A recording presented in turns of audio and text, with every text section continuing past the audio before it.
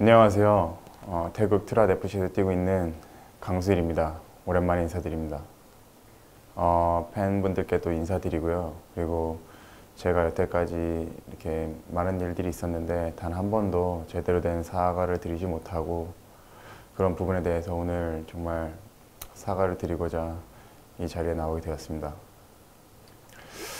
그러니까 뭐 그런 부분에서는 되게 무지했던 것 같아요. 그 무지한 것 자체도 잘못인데 그런 뭐 연고라는 것에 대해서 뭐 단 한 번도 그렇게 그게 큰 문제가 될 거다라는 그런 생각을 뭐 하지 못했었고요. 그렇게 크게 생각하지 못한 부분이 있습니다. 그때 뭐 미용이나 그런 거에 관심이 있어서 그렇게 사용하게 됐었는데요.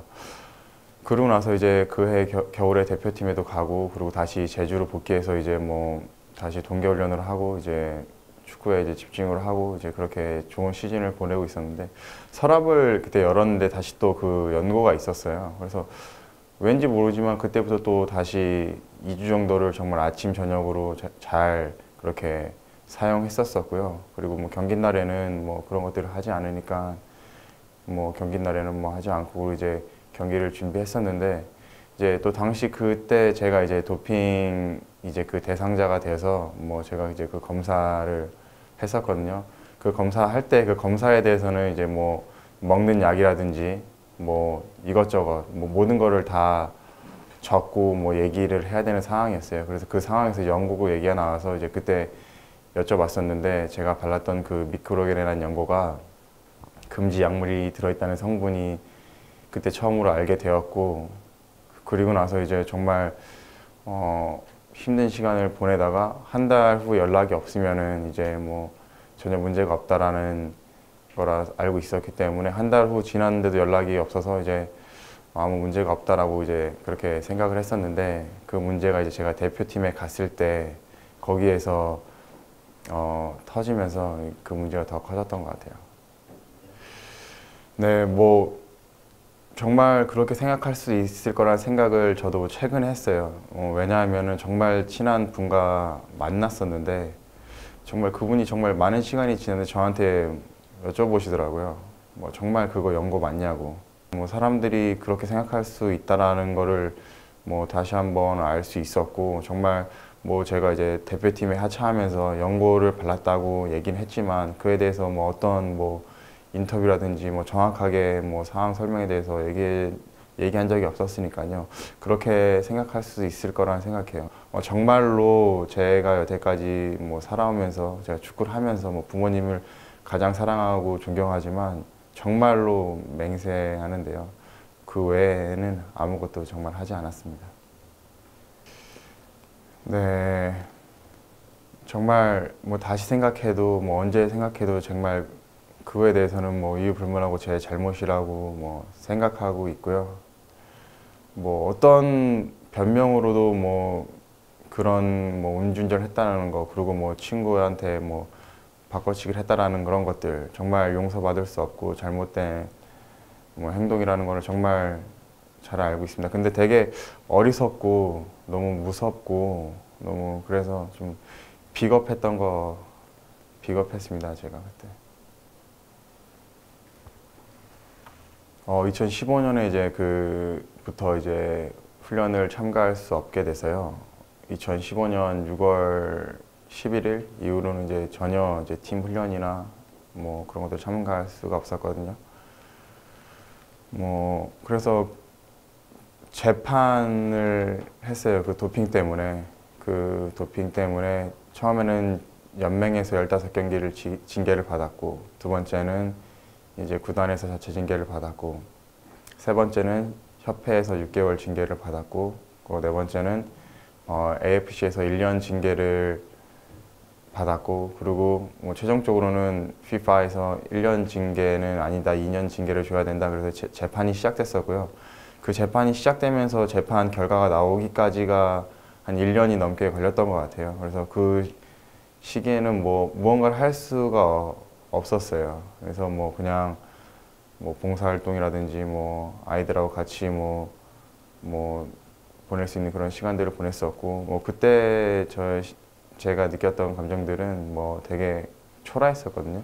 뭐 축선수 강수일일 때가 강수일이지 뭐 그 외에 강수일은 강수일이 아니다라는 걸 확실히 느낄 수 있었고 그리고 이제 징계가 이제 2016년 거의 7월쯤에 판결이 났는데요. 그때 앞으로 1년이 1년가량 더 징계가 남아 있었어요. 근데 정말 이 시기를 잘 극복해서 다시 일어나고 싶다. 다시 축구로 선수로서 다시 일어나고 싶다라는 희망이 들었었고요. 그래서 그때부터 이제 포천 시민구단에서 뭐 몸을 만들기 시작했고요. 그리고 뭐 중국에 가서도 뭐 조금 뭐 훈련 생활을 하고 그리고 일본에서도 테스트를 받고 그렇게 이제 복귀를 준비했었는데요. 가장 제가 하고 싶었던 거는 빨리 경기장에 나가고 싶었고 그리고 축구를 빨리 하고 싶었기 때문에 일본으로 가는 그런 제 선택을 했었습니다. 어, 뭐 어릴 때부터 뭐 저도 많은 도움을 뭐 받고 자랐었고요. 그래서 그런 도움을 뭐 저와 같은 아이들이나 뭐 아이들에게 뭐 전달해주고 싶었었고요. 그래서 뭐 저 혼자만 하는 것이 아니라 많은 사람들의 뭐 도움 아래 그렇게 뭐 아이들에게 작은 선물이라든지 그 무대를 만들어주는 일을 뭐 지금 준비하고 하고 있습니다. 정말 그렇게 생각하고 있습니다. 정말 그 아이들이 뭐 저를 보면서 희망을 가지고 있었을 수도 있고 정말 어, 저 같은 뭐 사람이 되고 싶다라는 그런 꿈을 가질 수도 있었을 텐데요. 제가 그런 희망을 뭐 짓밟은 거에 대해서 정말 너무 미안하고 뭐 정말 많은 사람들에게 정말 죄송하게 생각하고 있고요. 뭐 저 또한 제 자신한테도 정말 너무 뭐 아쉽고 그렇게 생각하고 있어요. 어, 이렇게 생각하게 되는 것 같아요. 뭐 항상 누군가 저한테 꿈이 뭐냐고 물어보면은 정말 국가대표 이 네 글자는 정말 변함이 없었거든요. 단 한 번도 변한 적이 없었는데 지금 누군가 저한테 물어보거나 제가 제 자신한테 물어보면은 어, 생각을 하게 돼요. 정말 생각을 하게 돼요. 그래서 정말 지금은 뭐 제가 뭐 꿈이라고 말해야 하는 건지 잘 모르겠지만 정말 다시 한번 대한민국에서 어, 축구 선수로서 뛸 수 있는 기회가 있다라고 하면은 정말 그런 기회가 저한테 주어진다라면은 정말 다시 한번 어, 축구 선수로서 최선을 다해서 뭐 뛸 수 있는 그런 소망을 가지고 있어요. 네, 뭐 정말 제가 일본을 처음에 나갔을 때부터 다시 태국에 갔다가 뭐 일본에서 선수생활 할 때도 언제나 제 마음 한켠에는요, 뭐 대한민국에서 뛰고 싶다라는 그런 뭐 소망이 있었어요. 뭐 그거는 뭐 변하지 않고 계속 제가 축구 선수로 생활하는 동안에는 계속 제 마음속에 있을 것 같아요. 뭐 저거를 조금이라도 어, 기다려 주시고 기억해 주시는 뭐 팬분들에게 다시 한번 뭐 새하자는 마음으로 운동장에서 최선을 다해서 뛰는 그런 모습을 정말 보여드리고 싶습니다.